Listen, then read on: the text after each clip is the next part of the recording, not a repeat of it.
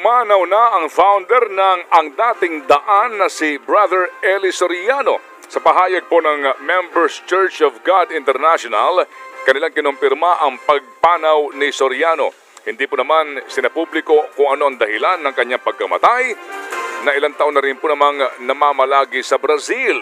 Sa kabila po ng kanyang pagkawala, tiniyak po ng religious organization sa kanilang mga miyembro na tuloy pa rin ang mga programang sinimulan ni Brother Eli Soriano.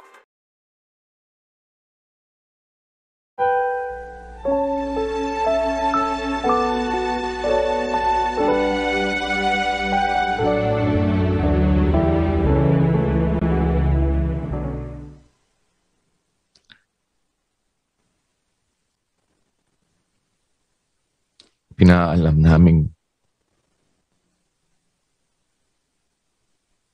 pinagpahinga na po ang kapatid na Ellie.